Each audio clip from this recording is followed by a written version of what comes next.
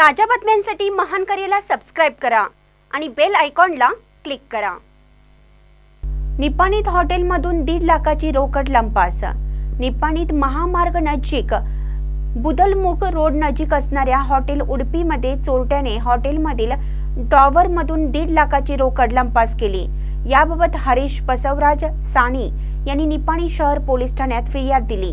ही घटना गुरुवारी पहाटे तीन ते चारच्या सुमारास उघडकीस आली. याबाबत निपाणी शहर पोलिसांकडून समजलेली अधिक माहिती अशी की महामार्गानजीक हॉटेल उडपी आहे. पहाटे तीन ते चारच्या सुमारास हॉटेलच्या ड्रॉवरमधून रक्कम लंपास झाल्याचे हरीश यांच्या लक्षात आलं. त्यांनी त्वरित या घटनेची माहिती निपाणी शहर पोलिसांना दिली.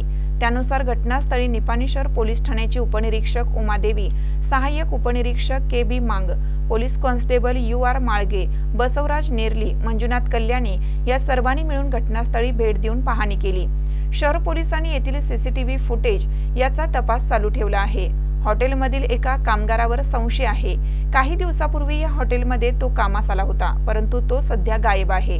पोलिसांनी तपास चक्रे गतिमान केली असून पुणे येथे एक पथक पाठवण्यात आल्याची माहिती शहर पोलीस ठाण्याचे उपनिरीक्षक उमादेवी यांनी दिली.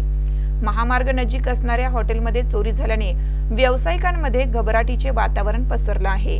या घटनेची नोंद निपाणी शहर पोलीस स्थानकात झाली आहे. महानकर निपसाठी गौतम जाधव निपाणी. you